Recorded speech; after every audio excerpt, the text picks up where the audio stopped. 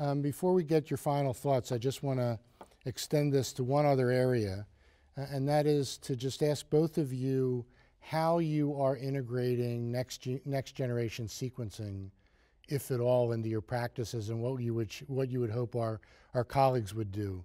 When do you biopsy, send it off, and then choose therapies?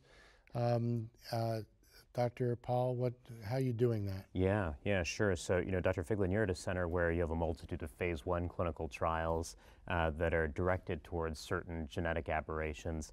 I find that doing genomic profiling early on may potentially benefit the patient at a later stage in their treatment by identifying potential uh, studies of interest.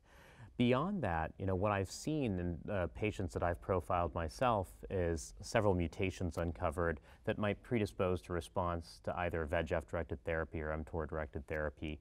In a handful of patients, I've seen mutations in several genes, TSC1, mTOR, et cetera, and uh, I've correlated those with responses to TOR inhibition. Uh, these are all anecdotal reports. I've published several of these at this point in time. What I'm perhaps most excited about is data that I'm presenting tomorrow pertaining to a cohort of 443 patients assessed using the Foundation Medicine platform.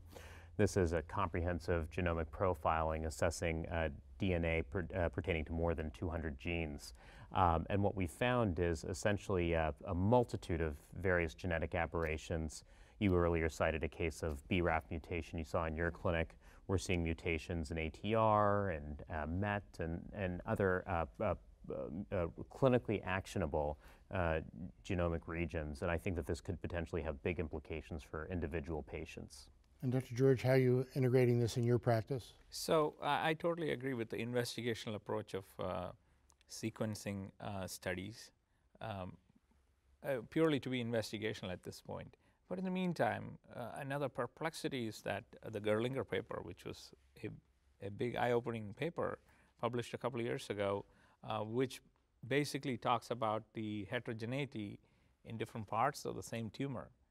And, and for the same reason, you know, multiple metastases, they could be behaving differently based on the signature. So um, if we perform sequencing studies, we might find multiple mutations and and which one to optimally target. So that's, that's going to be a challenge with kidney cancer. I think it's, it's a disease which is constantly undergoing mutations and, and, and becoming complex and complex as, as we go through multiple lines of treatments or as it evolves over time. So I'm very, very optimistic that we will find something, but in the meantime, this is a big challenge that I see. So uh, we've, we've discussed a lot and reviewed an enormous amount of, of information on the treatment of metastatic uh, kidney cancer. Let me give you a few seconds of my own uh, summary and then ask you both for your comments before we bring this to a close. I mean, I think, I think kidney cancer is at a crossroads. Uh, those of us that have been in this disease uh, for a long time ha have now seen um, the era of targeted therapy having a tremendous benefit for patients. And that, that, uh, that era, uh, uh, a lot of people deserve uh, uh, success in it, and that's industry, relationships with academia, patients, and their communities. Um, we now have the first hint from the ASSURE study that, that despite our hopes that when you treat advanced disease patients, you can translate that into success in early stage patients as with what's happened with cytotoxic therapy. That may not be borne out in kidney cancer. And we have our first hint that, that maybe anti-angiogenic therapy is not the answer. It, uh, we still have the Everest trial, which is looking at mTOR inhibition in that study population, and a variety of other anti-angiogenic trials that are looking at similar space and uh, a little bit different in their design. We have the evolving area of checkpoint inhibition, which I think is going to consume us for the next block of time. Uh, we have uh, drugs like uh, the Immatics trial and the Argos trial in the frontline setting using off-the-shelf vaccines or personalized immune therapy. We have cabozantinib looking at the role of c-Met in the second-line setting when compared with everolimus. So it remains a very dynamic time in kidney cancer. I, I think we're getting a much better handle on how to pick the populations that are most likely to not do well. Um, integration of next generation sequencing, I think, uh, remains a field to be, to be tested. So, uh, uh, you know, Dr. George, um, what excites you? Um, how do you see this field evolving, and and uh, uh, what are some of your last thoughts? So the excitement about uh, treating kidney cancer is is stemming from the fact that this is a very challenging disease to treat. So that gives me more rigor to to continue the work in this field.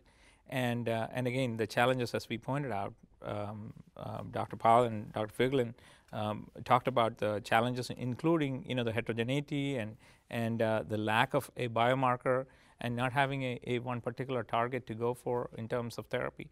Those are, those are the challenges. We have a lot more science to be generated in this field, and uh, uh, we need to learn the cancer cell at, uh, in depth. And, and I think uh, uh, we we are humbled uh, by the fact that there's no cure for this disease, even in this day and age. So we, we definitely need to continue the studies both in the lab and the clinics. Dr. Pal? Yeah, with, with the multitude of targeted therapies that we have available, it may seem less compelling to get patients early on to centers of excellence for clinical trials. I would still implore my colleagues in the community to consider sending patients to us for first line and second line trials. These are their opportunities in many cases to get PD-1 inhibitors, to get cabozantinib, et cetera. So I think that's really critical. I think that comment's been made before. One thing that I'd like to add to the discussion is that if you haven't done genomic profiling in your patients, just give it some thought many patients that you see in practice may not necessarily be trial candidates down the line. And I think that genomic profiling may offer some hints as towards various therapeutic approaches that can be attempted in that setting. On behalf of our panel, we thank you for joining us and we hope you found this peer exchange discussion to be useful and informative.